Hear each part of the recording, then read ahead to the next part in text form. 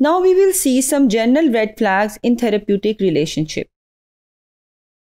Need to enhance one's own self-esteem. This is very important that relying on client's presence or to praise, to evaluate how you feel about yourself is something which is uh, oftenly seen uh, by the therapist that they tend to see that how the client is going to praise them. So this reflects a very low self-esteem of a professional because हमें किसी की जो तारीफ़ है, उससे अपनी self esteem को boost नहीं करना, बल्कि हमने अपनी थेरेप्यूटिक प्रैक्टिस से क्लाइंट की सेल्फ इस्टीम को बूस्ट करना है। Believing that you are the only therapist who can help a particular client बाज़ात लोगों को ये ख्याल होता है कि सिर्फ़ वो एक एक्सपर्ट हैं जो उस क्लाइंट को हेल्प कर सकते हैं। This also comes into a very bad kind of self esteem कि आप ये एज्यूम करते हैं कि आपसे अच्छा कोई और प्रैक्टिशनर नहीं है। Then indulging in rescue fantasies यानी इस तरह की फैंटेसी सोचना कि ये सिचुएशन हो जाएगी ट्रबल सम मैं इस तरह से क्लाइंट को हेल्प करूँगा। जैसे हम डे ड्रीमिंग की बात करते हैं,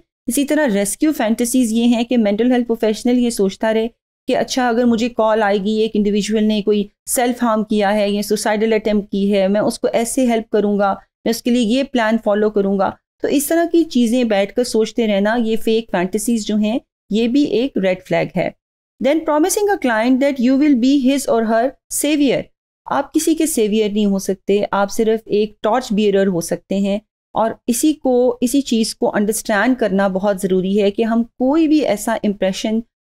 जो है वो क्लाइंट को ना दें कि वो लाइफ लॉन्ग डिपेंडेंट हो जाए थेरेपिस्ट के ऊपर। Feeling entitled to all the credit when a client improve specially if a marked achievement is attain while under your care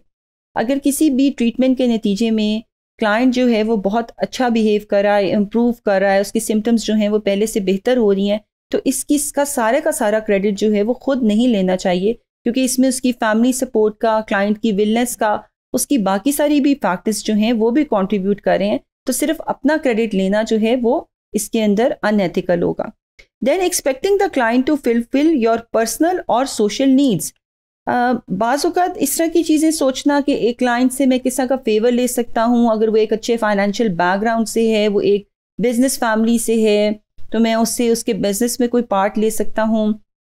कोई फ्रेंचाइज ले सकता हूँ, या मैं उससे कोई लोन ले सकता हूँ। इस तरह की जो चीज़ें हैं, वो प्लान करके किसी क्लाइंट को अपना client banana is also a red flag then viewing one or more client as among the central people in your life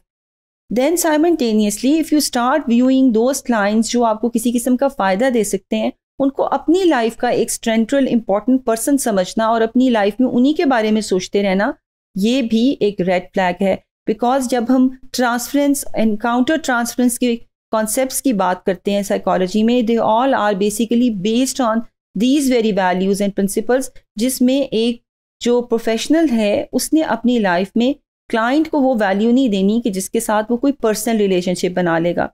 Then fear of being rejected or client terminating therapy for financial and other reason now encouraging a client to have dependence on yourself यानी आप उसकी autonomy को discourage करें और उसको कह रहे हैं, तुम्हें कोई मसला होगा, जब भी कोई बात होगी, तुमने फ़ौरन मुझसे रबता करना है। हर चीज़ के लिए तुमने मुझसे अप्रूवल सीख करना है। अपनी हर वरी हर स्ट्रेस को तुमने मुझसे शेयर करना है। बेसिकली एक जो थेरेपिस्ट होता है, वो अपने साथ हमेशा घर में एक को थेरेपिस्ट बनाता है। और वो घर वाले जो हैं, वो उसको लीड करते हैं towards you know adjustment in life लेकिन अगर वो थेरेपिस्ट सारे रोल अपने पास ही रख लेता है तो वो बेसिकली उसकी अटोनमी को अंडरमाइन कर रहा होता है। Then experiencing a feeling of dread on sensing that a client may decide to quit therapy और ये सोचना ही महाल हो जाए कि एक जो क्लाइंट है, अगर वो थेरेपी को ख़त्म कर देगा, वो रिकवर होकर चला जाएगा तो फिर थेरेपिस्ट जो है वो क्या करेगा? So these all are unhealthy practice then resisting process of terminating a client despite clinical indicators says that termination is appropriate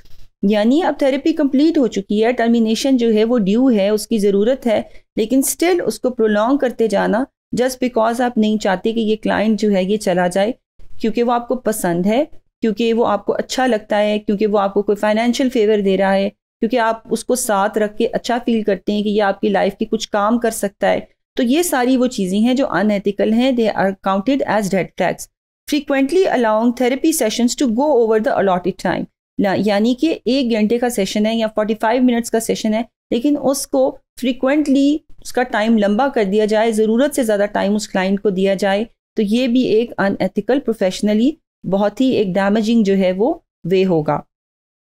Then negative feelings towards a client disapproving a non compliant client एक client जो है, वो अगर comply नहीं कर रहा आपकी instructions के साथ, उसको डिसअप्रूव कर देना, उसको नेगेटिव फीलिंग्स देना, उसको जो है वो, उसके अपॉइंटमेंट्स जो हैं, उसको डिले करते जाना और उसको अगर आपको लगे आपका शुक्रिया नहीं करा, आपकी तारीफ़ नहीं करा, उसको ज़्यादा से ज़्यादा लेट करते जाओ, उसकी जो है वो अपॉइंटमेंट्स जो हैं, उनको मिस कर दो तो feeling put off by a client for strongly resembling someone else whom you fear or detest and last but not the least is that कि आप किसी क्लाइंट को वैसे सिर्फ़ इसलिए पसंद ना करें कि वो देखने में अच्छा नहीं लगता या उसको देख के आपको किसी और की याद आती है, उसको देख के ये फील होता है कि ये किसी ऐसे बंदे से रिजेंबल करता है वो who is being once you know feared by yourself या इस तरह की कोई चीज़। तो अपनी पर्सनल लाइकिंग या डिसलाइकिंग की बेसिस के ऊपर क्लाइंट को डिसअप्रूव करना और उनके साथ जो है वो डेरोगेटरी एटीट्यूड रखना, ये भी रेड फ्लैग्स हैं।